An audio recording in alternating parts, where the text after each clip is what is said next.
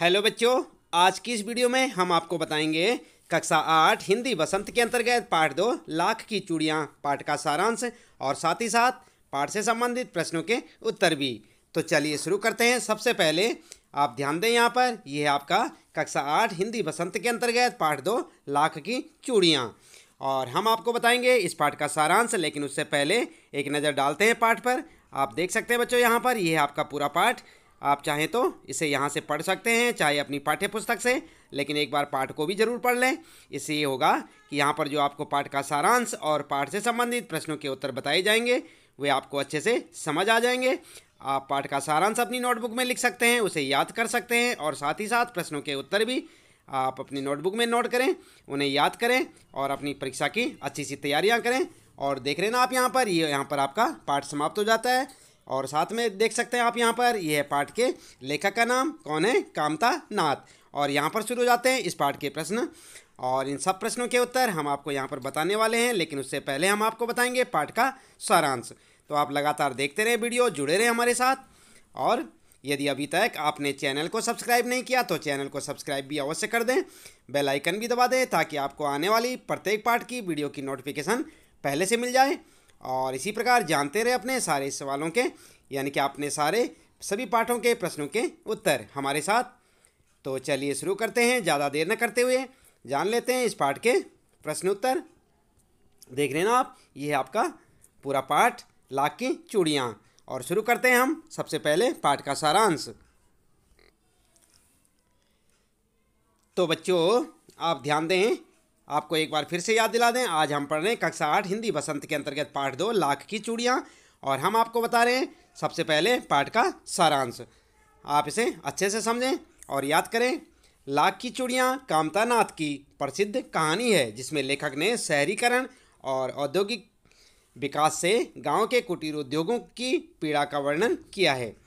समझ गए ना आप? किसकी ये रचना? कामता नाथ की प्रसिद्ध रचना, लेखक कामता नाथ और इन्होंने यहाँ पर जो है इस पाठ में शहरीकरण और औद्योगिक विकास के, विकास से गाँव के कुटीर उद्योगों की पीड़ा का वर्णन किया है। लेखक बचपन में गर्मियों की छुट्टियों में अपने मामा के घर जाया करता था। कौन? कामतानाथ। उसमें मामा के गाँव में सबसे ज़्यादा बदलू मामा अच्छे लगते थे। यानी कि जो लेखक थे, उन्हें जो है अपने मामा के गाँव में जब वो जाता था तो सबसे अच्छे कौन लगते थे उसे? बदलू मामा। अन्य बच्चों की तरह, वह भी उसे बदलू काका कहकर पुकारते थे। बदलू जाति के मनिहार थे। मनिहार क्या होता है? चूड़ियाँ बेचने वाले। जिसके पुस्तैनी पेशा चूड़ियाँ बनाना था, बदलू का मकान ऊँचे पर बना था। मकान के सामने एक पुराना नीम का पेड़ था। किसके मकान के सामने? बदलू के। उसी के नीचे बैठकर बदलू अपना काम किया करता था। बगल में भट्टी देखती रहती, जिसमें पिघला कर लाख को सलाख के समान पतला कर चूड़ी का आकार दिया करता था। तो आप समझ गए होंगे, जो बदलू था, बदलू क्या काम करता था? चूड़ी बनाने का काम करता था। किसकी? लाख की चूड़ियाँ। इसके बाद चूड़ी का आकार देकर बेलन नुमा मुंगेरियों पर रखकर गोल और चिकना बनाता, उन्हें रंग चढ़ाकर बेचा करता था। बदलू एक ऊँचे मचिए पर बैठकर अपना काम किया करता था। दोपहर में लेखक का समय, बदलू के पास ही बीत बीता करता। यानी कि जो लेखक थे, कौन थे लेखक? कामतानाथ जी। ये क्या करते थे? हमेशा बदलू के पास बैठा बैठे रहते थे और दोपहर के समय खास तौर पर बदलू बहुत सुंदर चूड़ियाँ बनाया करता था। उसकी बनाई हुई चूड़ियों की बहुत खपत भी थी। गाँव की सभी स्त्रियाँ उसकी बनाई हुई चूड़ियाँ पहनती और पास वाले गाँव में भी उसकी अच्छी मांग थी। बदलू स्वभाव से तो सीधा था, लेकिन शादी ब्याह के अवसर पर जीत पकड़ लेता था। कपड़े, अनाज, पगड़ी और रुपए लेकर ही छोड़ता। बदलू की, बदलू कांच की चूड़ियाँ देखकर चिढ़ जाता था।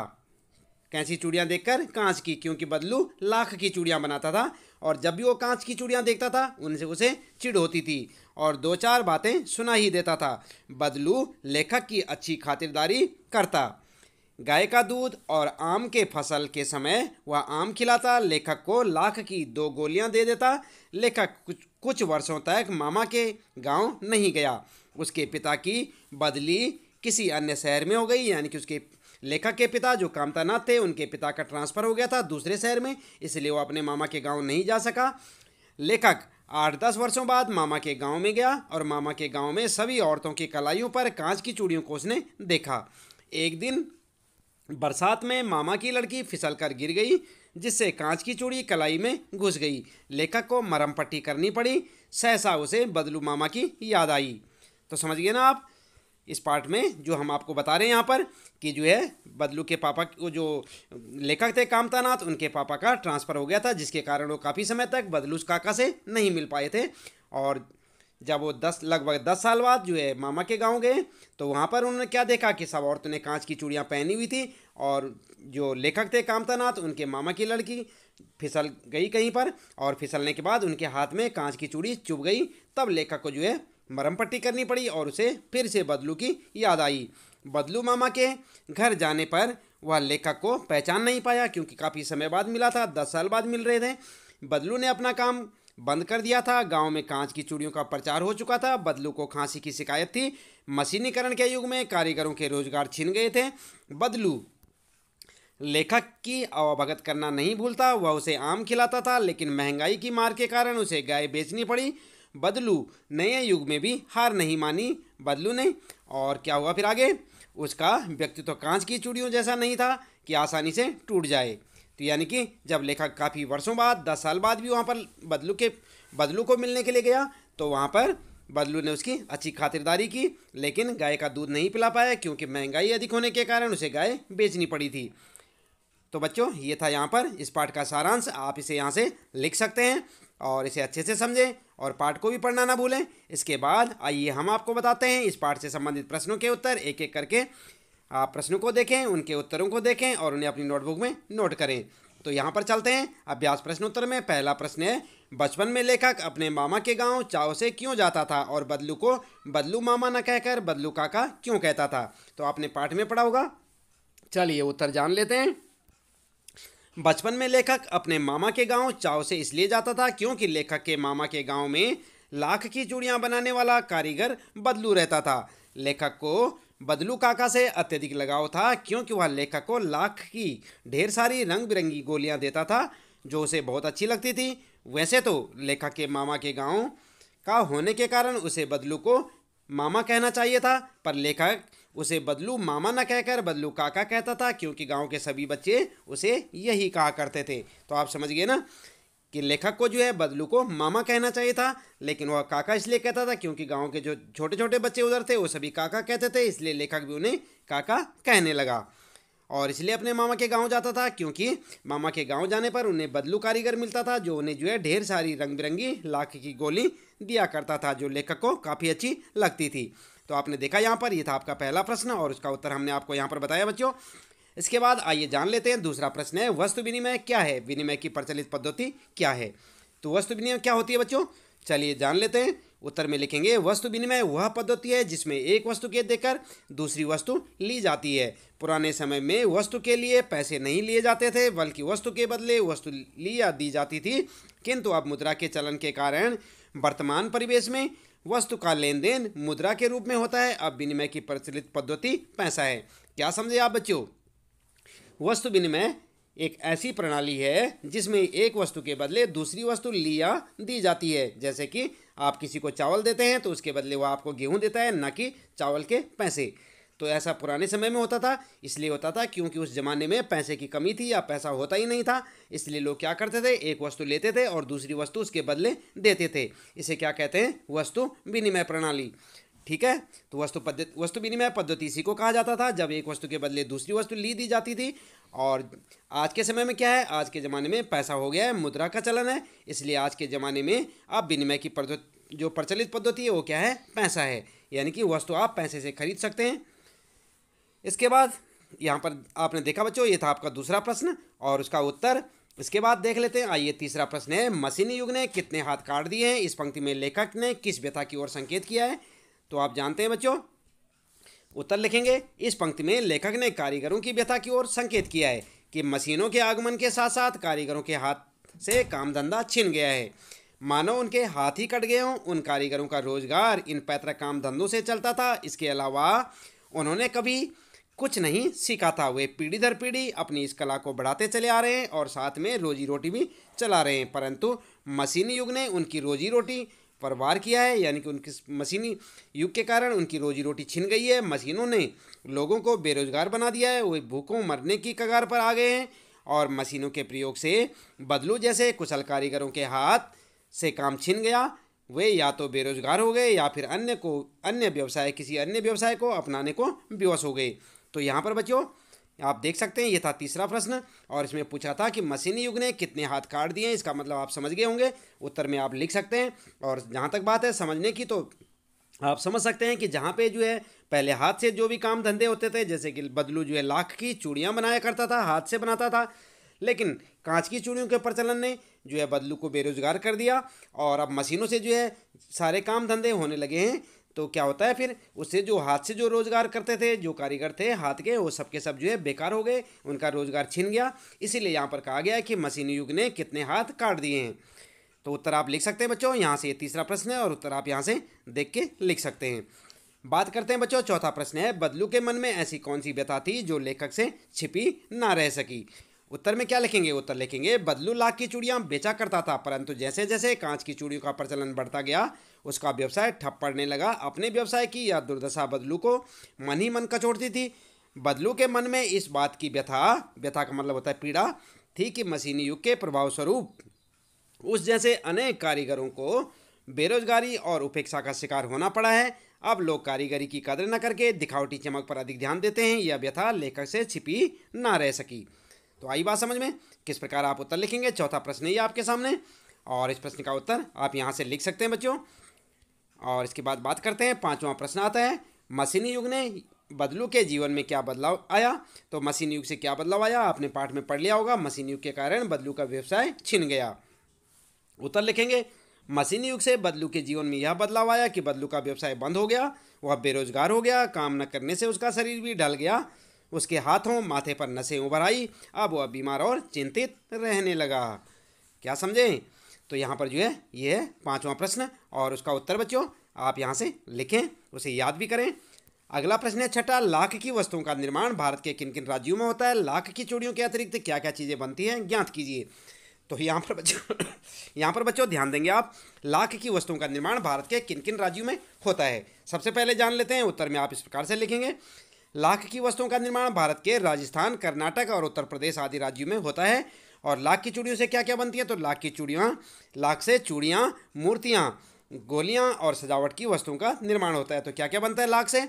आप समझ गए होंगे, चूड़ियाँ बनती हैं, मूर्तियाँ, गोलियाँ और सजावट की वस्तुएँ। और होता कौन से राज्यों में लाख का?